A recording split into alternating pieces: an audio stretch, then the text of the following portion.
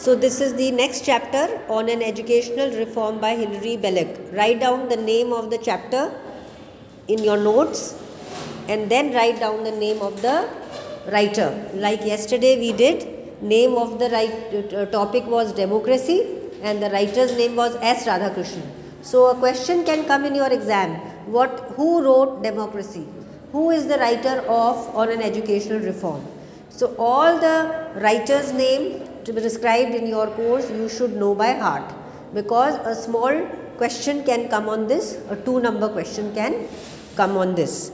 So, in this chapter, in the second paragraph, we find that how the writer has introduced uh, satirically that the need of the hour of this time is to introduce the subject of fraud in our educational system because without this the writer feels that one feels one cannot succeed in life. So, though the chapter's name is reform, reform is always for something better. But do you think that by introducing fraud and teaching our students at school how to cheat, is this a reform? Is this something which we want our children to become? Deceitful, liars, and cheaters? Yes or no? Yes? yes? No. I, have you, you, you must understand the writer is saying in a satirical manner that fraud or cheating should be taught to children in school. Is it now you have understood? So this, this he is saying in a satirical manner. This is not something which is required but in order to say that society is filled with people who cheat and our children if they don't learn how will they succeed in life? So, it is another way of saying that in today's world, people who cheat, who do fraud, they have increased so much, they are sprouting so much that those who are innocent may get into the trap. And our children, if they don't know the tricks of fraud, they will be cheated by other people. So, it is a negative way of saying that what is the condition of society. Do you understand now? It is a satirical way of speaking something. So, this is what is required when we study literature that we should understand the intent, the intention, the goal of the writer. What is he trying to say? Otherwise, you will say, yes, the uh, you will write in your answers. The writer says that children should have fraud in their classes. So, this is not what he wants to say. He wants to say the opposite that so much fraud is there that what is the way to counter it for those children who do not know anything about cheating and they will get cheated. So, this is this way of saying. So, then further on he describes that what is fraud? Fraud is the sole, sole one and only basis of the only form of success recognized among us. It is only through fraud that one can have success in life. By fraud alone are those vast fortunes, fortunes, uh, wealth, money, property, suddenly acquired, suddenly at once, in no time, acquired. Acquired means to receive, which and which only are the condition of greatness in modern man. So, the whole essay is written in a satirical tone that the only requirement for becoming successful in life, to become rich at once, is through fraud and cheating. Do you feel this is something valid today also? Is this happening in our society that people who do lot of corruption or cheating and fraud, they accumulate lot of wealth, they become rich overnight and those who are following the correct path, who do not cheat, they do the right thing, they are left behind. So what he is writing, the writer in the early 19th century, we see its effect even more uh, strongly today in this world. So, so it, it becomes a question that if we do not know these art skills of cheating, we may be left behind. Fraud is the master subject ignorance or inability in which if you do not have any knowledge of the subject of fraud which is a master subject in ignorance lack of knowledge inability in which looms a man to toil and obscurity looms a man to toil and obscurity. Toil means hard work obscurity means uh, when nobody knows you. So if you want to become if you do not want to do any hard work and you want money quickly then the way which you should know the subject which you should know is how to do that by fraud. Otherwise you will keep on toiling keep on working hard and nobody will know you yet fraud is never taught at school. Are we taught in our schools or colleges how to do fraud? So this is a satirical. Again the tone is taunting. Men who had the parts of for a most brilliant career fail on leaving the academics academies because they are outwitted by gutter snipes who have no letters but can cheat. So many times we feel that people who are very studious, they will work very hard, they will follow the correct path, they will be left behind and those people who were not interested in studies they were involved in all kind of negativities they will rise to heights. So this happens which we see also around us. There used to be taught in schools latin and greek after a grammatical fashion which made the better pupils true masters pupils students true masters of the inwards of these languages. So, what are in earlier times uh, in Britain and other countries, Latin and Greek language, like Sanskrit in our India, it was considered to be the language of the learned. So, Latin and Greek was uh, used to be taught only to students who were very intelligent because it was a very difficult language. Like Sanskrit used to be taught only to the children of the kingly kings and the court people, not to the ordinary people. Similarly, Latin and Greek was also taught to the people, students, pupils mean students, who were above average. When they were so formed, they were called scholars. And when they learned Greek and Latin or Sanskrit here in India, they were called as scholars, highly learned people. To this expertise was added some knowledge of a foreign language, usually French or German, but only a smattering thereof, and latterly also the elements of physical science and of mathematics, until these last branches took up so much time that often a choice was made between them and the older humanities. So, slowly, what happened? Uh, knowledge of foreign language like French, German, they and also physical science mathematics so these were the branches which took up lot of time to understand physical science and everything so uh, children had to make choice between learning the language latin and greek or between the sciences and uh, humanities so far so good indirectly the young people were taught also the manner of their society and this especially the modern discipline of games. So these are the description of the different subjects which were introduced uh, in the curriculum of students at school, uh, games, humanities, sciences, languages. But there is not one of them, and I speak with feeling on the matter, for I have experienced myself, who upon leaving school or the university has not suddenly found himself in a world where a ready practice in cheating proved the only thing of serious importance and yet was to him quite unfamiliar. So, once the children, the writer says, once the children who have accumulated so much of knowledge about French and German and Greek and Latin and all the various subjects, so they should have become very knowledgeable and they should know how to deal in the world. But once they step out from school and college into the real world, they find that they are they are not they don't have the tools to deal with the problems in the society So, why a person who has so much of education should find any problem in dealing with the world? But what was missing? They had no practice of cheating. There was no, they did not know how to cheat, so they felt confused in a world where everybody was uh, involved and they could easily be cheated by others.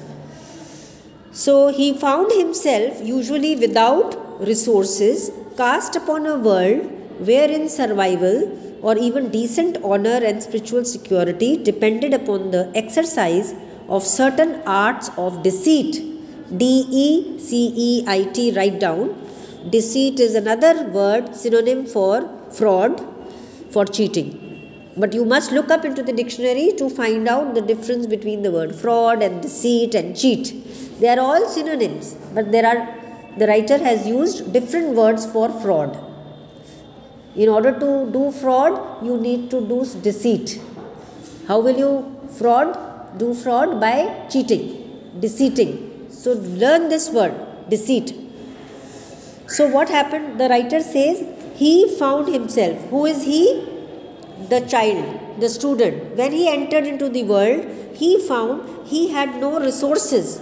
He had nothing to fall back upon because he was put into a world wherein survival in order to live in this world outside depended upon the exercise. He has done the exercise of mathematics, of English, of grammar, but there was no exercise of uh, art of, he calls it art of deceit. He which for which he had never been trained at school and which he must acquire at his peril. P E R I L. It's a new word. So, whenever a new word comes, you must underline that. So, peril is, peril means danger at his own risk. He must learn this art of deceiving others uh, at his own risk. So, in proportion as he failed to acquire these arts, life failed altogether and was cast away. Because he did not know the art of lying, the art of fraud, he would fail because he has no practice into this. So he tried to cheat but had no practice, so he would fail. So, like there is a game in the uh, cards which you call bluff. So, bluff is also cheat, where you will not show your cards to the opponents and you will say, I have these two cards. So, the other person if you have cheated, you have to finish your cards. And if the other person finds out your bluff, the cards will go back to you. So if you have the art of cheating, then only you can win the game. Isn't it? If you do not, if while cheating your eyes are, your expressions are like you have done something wrong, then the opponent will find out. So, if you have learned the art of cheating and you don't let anyone know that you are cheating the other person, then you are successful. So, it is something you can use this example in life. That when people are cheating each other, we do not know because their expression is different. They are trying to be very friendly and they are very sweet with us. But when later on we realize that they have cheated. And many times you know that during this period also of corona people had started because of lack of money they would do all kinds of frauds and tricks uh, and nowadays it is online things which are frauds online frauds taking money from the uh, your bank and every day we hear these things. So this is all related to that. Everyone will admit that the swindling of one's fellow beings is a necessary practice. Upon it is based all really sound commercial success, and through it men arrive at those solid positions which command the honor and respect of our contemporaries. So it's a very big paragraph. Can you split it in into parts? Because if it is a very long paragraph, what will you do? How will you understand the meaning of that?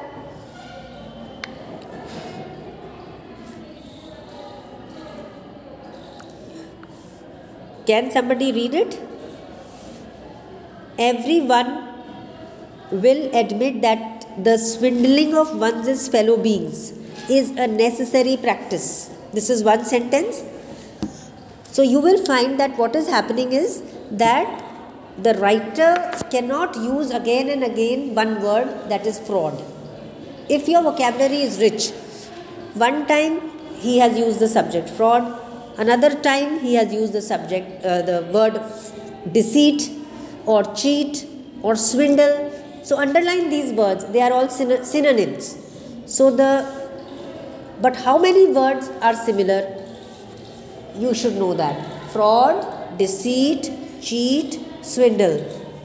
Although they have the same meaning, but if you look into the dictionary, there may be slight uh, difference. So to, your homework would be that find out the different meanings of these four words fraud, deceit, cheat, swindle. Maybe there are more words which are coming.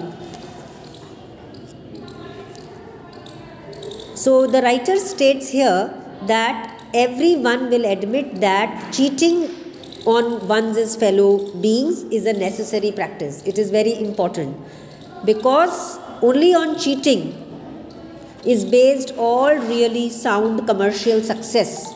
If you want to become a good businessman, commercial means in the world outside. So, commercial is the word coming from commerce. Commerce comes from economics, from business. So if you want to do a business, then cheating is one of the way, small or big. Some may cheat little, some may. Even a milkman mixes milk with water and gives you. That is also because he will sell more. If he gives you pure milk, all the milk will be sold. So cheating is done. That is also a business. So if you want to have a good, successful business, and through it men arrive at solid positions which command the honor and respect of our contemporaries. Again, it is very ironical. Ironical, write down the word I R O N. Irony, it has come from the word I R O N Y. What is the meaning of irony? You should know the meaning of irony, it will come again and again. So, the people who cheat us, who cheat other people, for prospering, for success in their business, and soon they will find only through cheating they will get lot of money at once and they will become very honorable and respected by all in the society. So we have a tendency to respect people who have lot of money, who are rich, who are who have power, and money has power. So this is how it happens. Thus, the chief way of making money is by buying cheap and selling dear, or rather by buying cheap and selling dear quickly. What is this? This the chief, the main way of making money is by buying cheap. You buy things in the low price and sell it in dear. Dear means expensive. Write down. The meaning of dear here is not somebody is close to me. But dear also means expensive, costly. So this is how the words have different meanings in different context. Or rather by buying cheap and selling dear quickly. You should quickly sell away in a very high price. So when you are doing this again and again, you will have lot of money very soon. But when you buy cheap, you only do so by taking in the vendor and when you sell dear the purchaser. So what is happening? When you buy something cheap from somebody you have to bargain. He give me of this much price.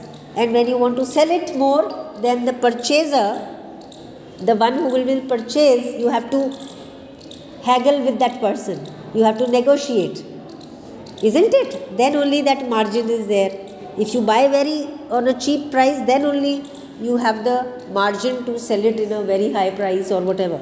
So their discount is, then we get discounts. This is how the business tactics are done. Your action may be remote and indirect as when you gamble upon the stock exchange. Stock exchange is the place where share market is done. So there what happens? The rate at which you buy the shares and the rate at which you sell it. If the gap is there then you get then only you get profit. That is stock exchange market. It is commonly direct and personal as when you acquire under contract the services of another man. But it is essentially an exercise in overreaching it is of its very nature getting some other human being into a state of mind in which he underestimates what you desire to get out of him or, or, or overestimates what you desire to unload upon him. Thus, in my own poor trade, I am a good businessman if I can persuade some unhappy publisher or newspaper owner that the public is a thrust for my words. Conversely, my honorable employers and masters will be good businessmen if they persuade me that no one is so base as to want to hear me at all and that I am only employed as a sort of charity. And so it is with the selling of a boat or a house or with the buying of land. In this paragraph, what the writer is trying to say is that the relationship or the contract between the buyer and the seller. It all depends upon that the business. If the writer is able to if the writer is writing so he has to get it published.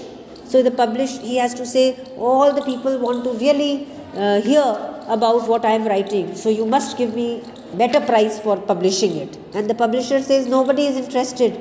This work is only under charity that you must do. So you will get less price so this is a negotiation between anything whether you sell a house if you want to sell this house, you will say, oh, this is in a very good locality. Look at the greenery around. And the buyer may say, no, no, no, there, there is a lot of smell. There is garbage here. So the price should be less. So this is how in market things are sold or bought. Where we try to cheat other by some way or the other. We want to project our view in a manner that the other person becomes a fool. So at this point we